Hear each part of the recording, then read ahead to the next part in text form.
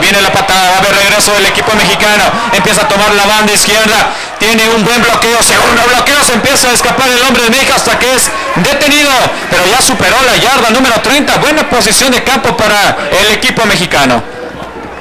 Así es, será fundamental para Carlos Altamirano establecer eh, una buena primera serie en el partido, tratando de tomar la ventaja rápido en el marcador. Vamos a ver cómo viene el plan de juego y vamos a ver por otro lado también cómo viene la defensiva de la selección de Estados Unidos y pues eh, nos da mucho gusto también ver a 15 de los jugadores de las Águilas de la Wash, cuatro de ellos en su primera temporada teniendo el reconocimiento de estar ya con la selección mexicana. Usted podrá identificar los jugadores por el casco, traen el de su equipo. Es Roberto Vega, el monstruo Vega, el coreback titular del equipo mexicano, su movimiento coloca el único corredor que lo apoyaba del lado derecho, ahora lo manda al lado izquierdo, Vladimir Araiza de la VM México. Ahí está Vega, tiene mucho tiempo, va profundo Roberto, el pase incompleto, tenía un hombre solo que precisamente es de las Águilas de Chihuahua, se trata de Aaron Walker, no lo vio Roberto Vega, se equivoca el monstruo, tuvo todo el día para lanzar, bueno, toda la noche y se equivocó. Demasiado largo el pase por parte de Roberto Vega, quien tuvo otra excelente temporada con los auténticos Tigres, llevando a la coronación del campeonato de la zona centro, la conferencia más disputada este año dentro de la Organización Nacional Estudiantil de Fútbol Americano. Y vamos a ver, ojalá que venga fino el señor Roberto Vega. Otra vez por aire, pase completo. El receptor se quita un posible tacleador, sigue moviendo las piernas, apoyado un poco por sus eh, compañeros de línea ofensiva. Buena ganancia para México, pero ya entrará la tercera oportunidad y tres por avanzar y sin eh, eh, formación, sin más bien sin colocarse hot directamente a la formación los mexicanos. Otra vez hay hombres moviéndose, pero fue impresionante. Les cambió la voz Vega y todos los frontales de Estados Unidos se movían. Decíamos que había un par de gemelos de ambos lados, movimientos en la línea defensiva. Veamos si los oficiales observaron lo mismo que nosotros desde el terreno de juego. Es correcto, es invasión por parte de Estados Unidos. Primer, primer y diez del partido a través de castigo. México movió las cadenas. En la jugada anterior, Roberto Vega buscó una de sus piezas favoritas con los auténticos Tigres, el número 9, Iván Borboya, quien tiene su primera recepción del partido, tratando de sacar jugadas en serie en esta su primera posesión, las Águilas de la Huella. Vamos a ver si salen con puntos. Viene México, ahora están eh, perdiendo yardas. Buena presión por parte de los Estados Unidos. Roberto Vega intentó salir de esa coalición, sin embargo no pudo, no fue capaz de ah, avanzar, por lo tanto México pierde prácticamente dos yardas en esa primera oportunidad, entra a jugarse el segundo down. En el backfield está compañero de Roberto Vega en, de equipo, Ángel Anduce, ese número 5, hombres de casco dorado. Vega hacia atrás, otra vez con tiempo. Vega, el pase incompleto. Muy mal eh, el envío de Roberto Vega. Lo dejó atrasado y lo dirigía a Iván Borboyo, el número 9. También un viejo conocido de Vega, pero no ha habido comunicación. Se complicó la serie. Tercer down para México. Sí, Carlos Altamirano está seguramente en esta serie tratando de hacer la conexión Vega Borboya de los auténticos Tigres. Se conocen más, pero no ha estado fino Roberto Vega en esta primera serie al momento de lanzar. Vamos a ver si aquí una buena jugada puede mantener vivas las esperanzas en esta primera serie. Pues está 12 yardas. Vega, rola, tiene tiempo. Va profundo. Roberto, el envío interceptado. Otra equivocación de Roberto Vega. Pues no, no ha arrancado nada bien el coreback de los auténticos Tigres y campeón en la conferencia centro.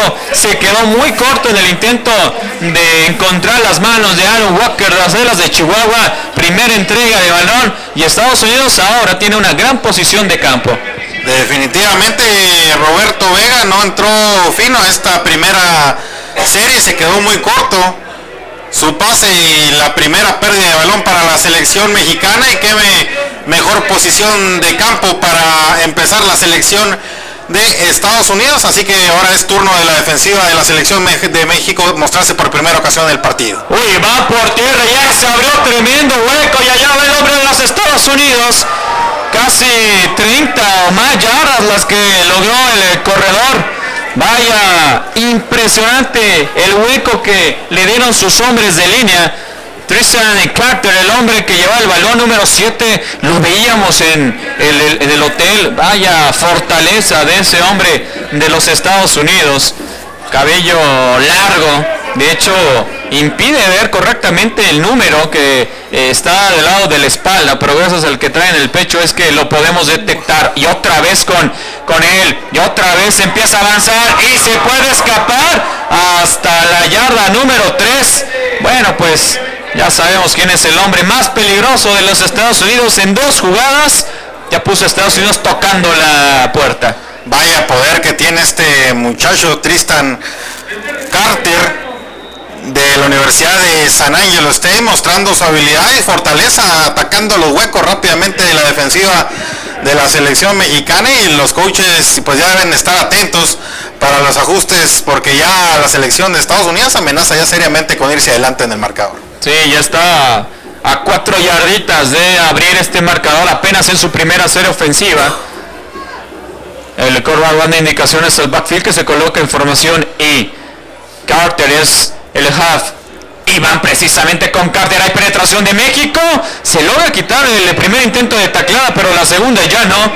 Así que México, pues por primera vez, logra evitar eh, que se escape este número 7 de los Estados Unidos. Vamos a ver cómo se comporta la defensiva de la selección mexicana en zona de gol. Por lo pronto ya el staff de cocheo de la selección de Estados Unidos está tratando de establecer eh, el ataque terrestre en un principio. Y va a ser una dura misión para la defensiva. Y es segunda oportunidad. Dos yardas para anotar. Vale resbalada con Carter. Va. Toma el contacto de frente, pero él gana en el impulso y es touchdown para Estados Unidos. Los primeros seis puntos del partido están cayendo a favor del equipo de las barras y las estrellas. Y Tristan Carter, vaya poder que mostró en cuatro ocasiones de en el balón. Y Estados Unidos ya está ganando 6 por 0. Vaya primera serie ofensiva por parte de la selección de Estados Unidos. Una serie que empezó de su propia yarda 40 y sí ya nos mostró el señor Tristan Carter que viene dispuesto a correr cualquier cantidad de yardas a la selección mexicana. El punto extra es bueno, así que toca primero la selección de Estados Unidos. 7 por 0 el marcador y vamos a ver si ahora sí el señor Roberto Vega viene un poquito más centrado, lo vimos un poquito nervioso en la primera serie y empiezan a establecer un buen ataque que les permita mantener la distancia en el marcador, mantenerse cercano, porque pues Sabemos que esta selección de Estados Unidos no va a venir a perdonarles absolutamente nada.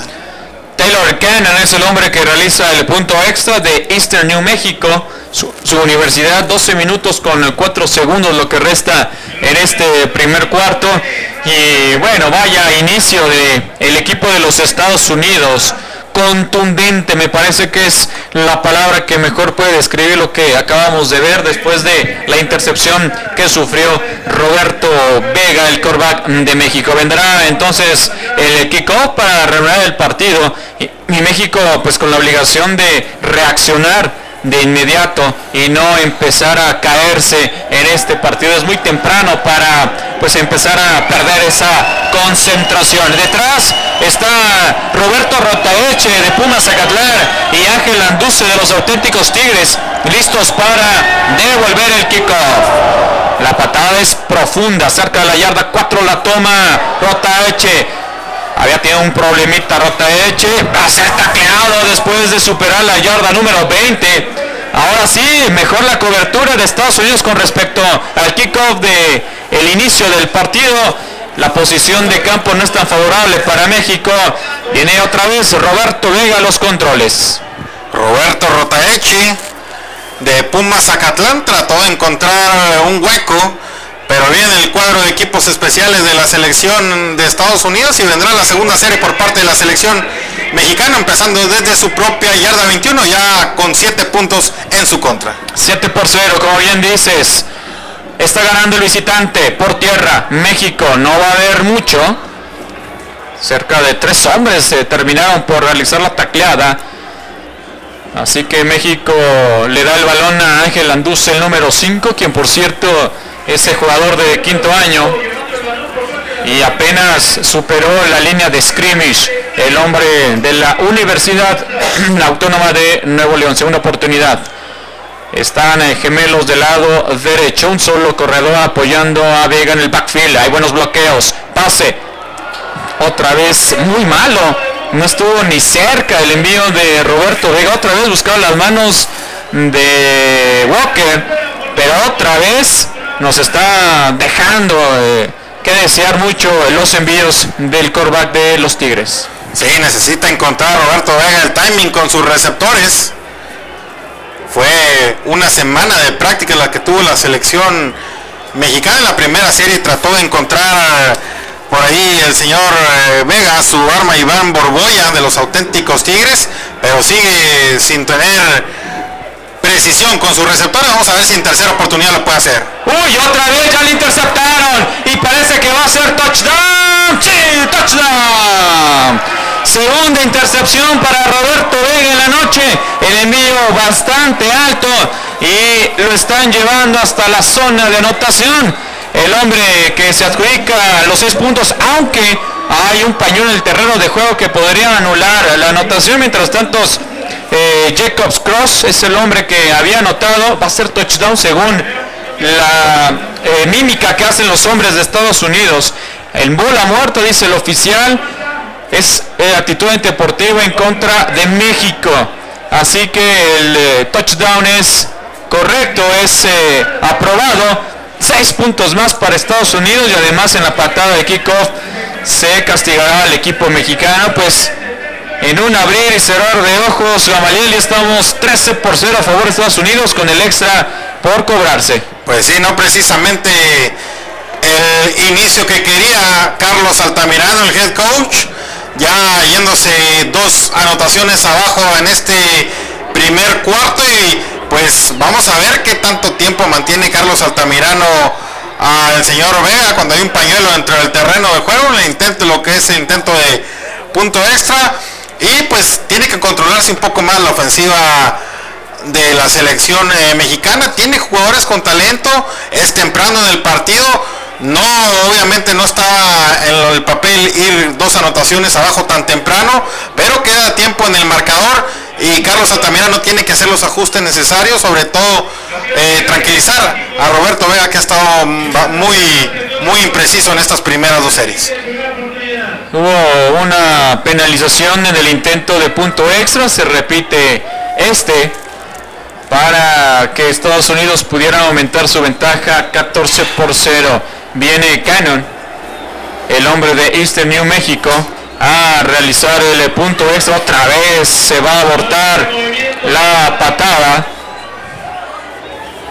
Ahí el referee se acerca al umpire y al juez de línea para que entre los tres pues establezcan quién fue el primero de los hombres que se movió y por lo tanto castigara a su equipo. El referee indica que en bola muerta es un procedimiento ilegal en contra del jugador de los Estados Unidos.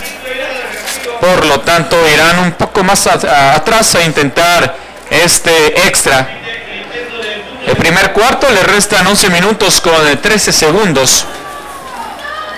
Y Estados Unidos ya tiene dos intercepciones y ya tiene dos touchdowns. Por lo tanto, derrota 13-0 a México, esperando que se ponga en juego el eh, punto extra. Ahora sí, después de dos intentos errados por pañuelos y el extra es bueno. Así que en el primer cuarto Estados Unidos, Gamaliel, amigos aficionados, está ganando 14 por 0. Así es, y bueno, como tú lo comentas, eh, Gabriel, pues México tendrá que enfocarse si quiere estar competitivo a lo largo de este partido. Desafortunado el pase por